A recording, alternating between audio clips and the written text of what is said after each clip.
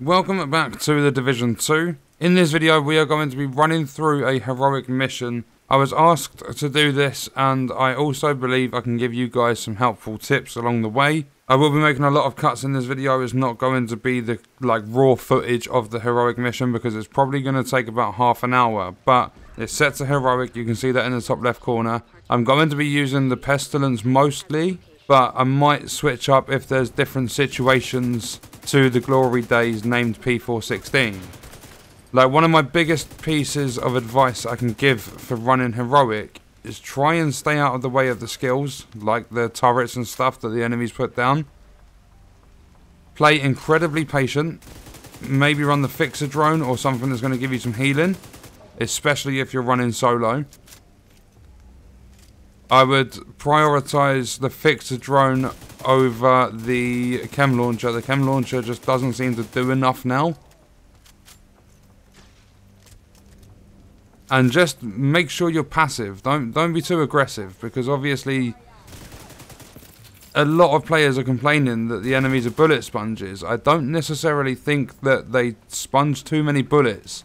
You can see that I'm clearing this area at a like a decent rate. It's not taking me too long, but I'm not doing it far too quick. So I, I think the enemies are balanced out quite well. The only thing I believe could do with a tiny bit of a nerf, maybe 2 to 4%, is just a little bit of enemy damage output decrease. So the amount of damage they deal to us, I believe that's a little bit too much. So I'm literally just going to stand here the entire time. Try and avoid all the grenades and stuff. I'm not going to push up. You don't want to be aggressive when you're doing heroic content because it will just screw you over. There's going to be times where you get screwed over anyway. And for a situation like that, that's when I get out the Glory Daze because it's much more accurate and it's a lot more stable. If I push up to here, hopefully they're popping their head. Can't get any shots. And if you guys are interested in my build, there is a video that I've done recently. It was the like the most previous video before this, the most recent one, that actually covers the build in depth. So if you want to see exactly what I'm running, that video is on the channel.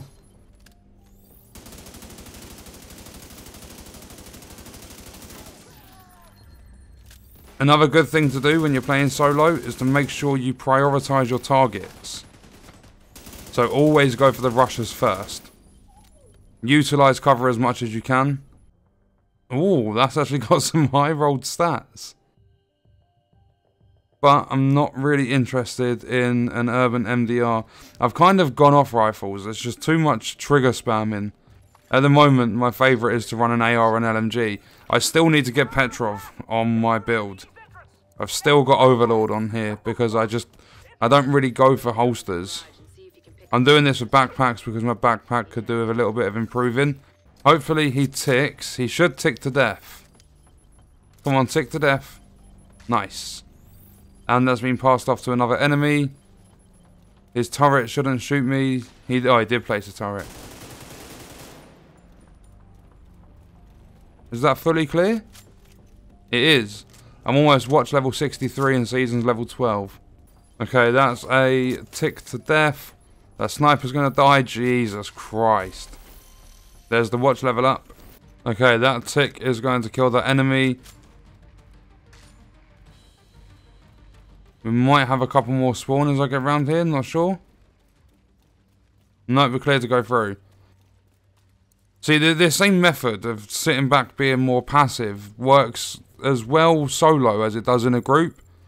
You've literally just, you've got to sit at the back. And if your build isn't clearing like because my build's not fully optimized. I'm not saying oh I've got a god build, I'm the best build in the world.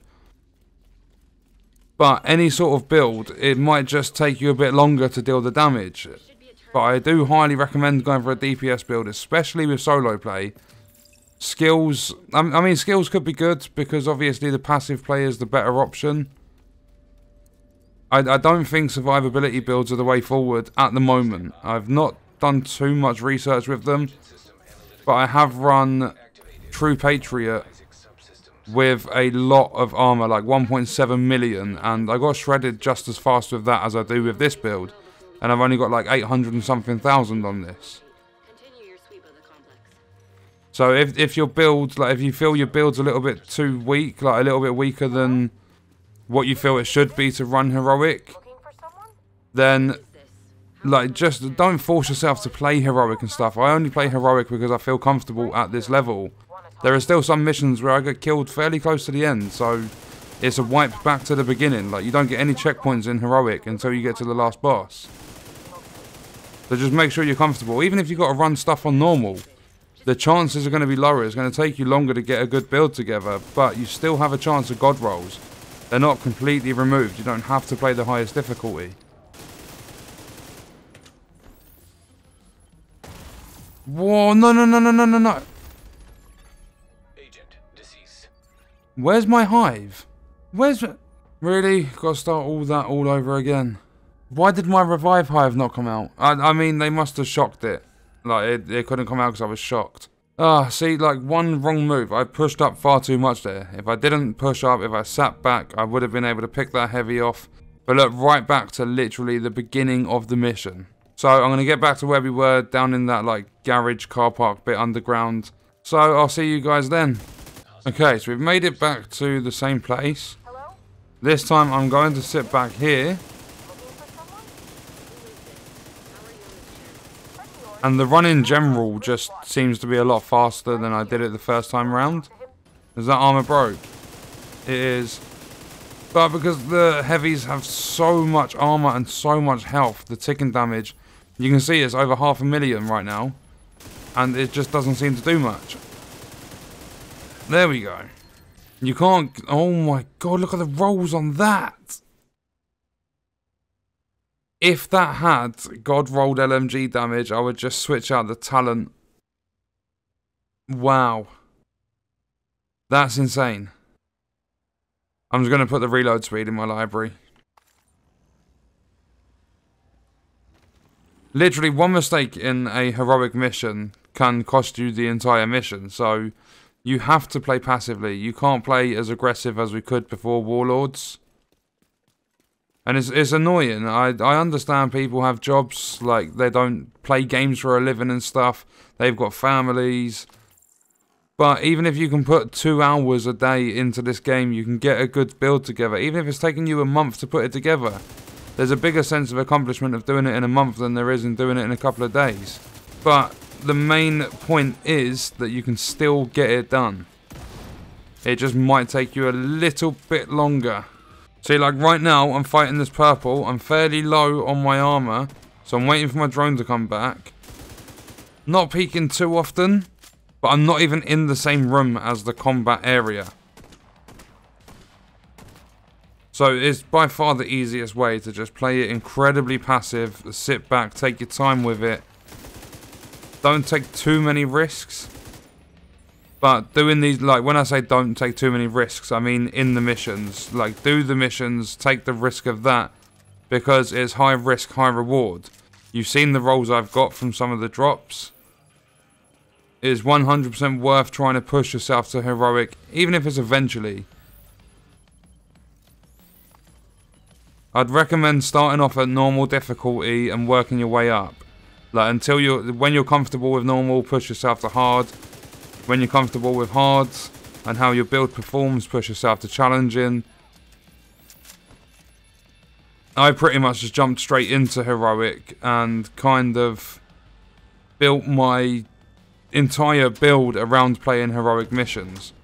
You don't have to do it like that because for me, a challenge is a lot of fun in a game. If something's challenging, I enjoy it more. But I know a lot of people want to just play games for fun. So if killing enemies and surviving is more fun, then just take your time with increasing your difficulty.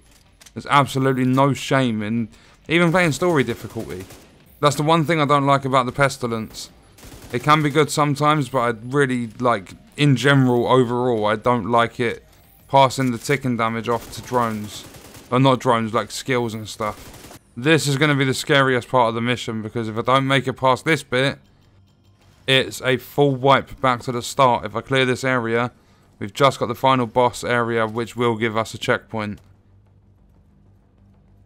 And don't ever worry about running out of ammo. There are so many restock crates in missions. I'm just gonna pre-chuck a grenade in that door. I didn't do it fast enough. Get loads of stacks on that purple and then I'm backing up. There we go. Objective complete. All I did was literally just sit off the top, wait for them to push, take some of them out, and then just pick my targets off from distance. And now we have a checkpoint. We are through to the final boss. There we go. You see in the bottom left, checkpoint reached. So if I die at this stage, I just reset to there.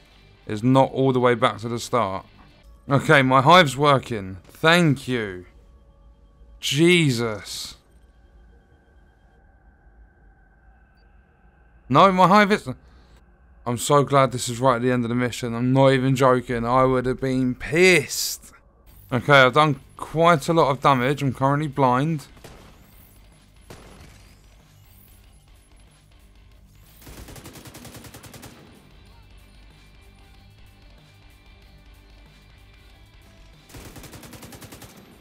Come on, keep those ticks going.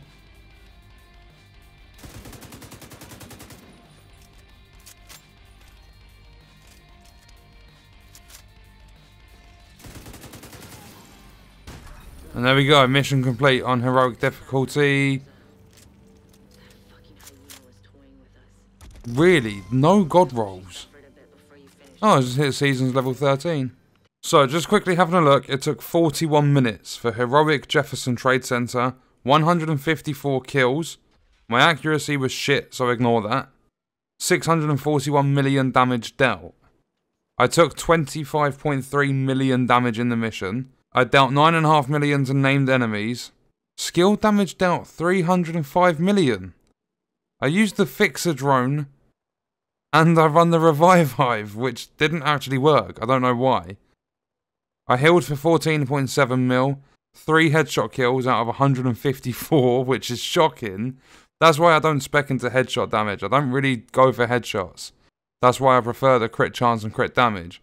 So yeah, there's a little look at the stats. And as I said, all you've got to really do is just be a little bit more patient with the missions. They probably will take longer, but it's a new expansion. Builds pretty much got reset every single thing we had at level 30 become obsolete. It, it was irrelevant after the update dropped. So keep working at your builds. Try and spec into, if you want to go survivability, go survivability. Get your armor, your armor regen, you can get some hazard protection, explosive resistance. If you want to go skills, the repair skills is good for healing stuff like the fixer drone, the mender, seeker mine, all the good stuff like that that gets you healed up, like the restorer hive. If you want to go skill damage, you can get skill damage, you can run the cluster seekers. And then the DPS builds, you've got weapon handling, crit chance, crit damage, headshot damage, weapon damage as a core attribute. There's a lot of different things to focus on, but if you know which build you want to run, and then you can go out farming for all the stuff. Even if, as I said, even if you've got two hours per day,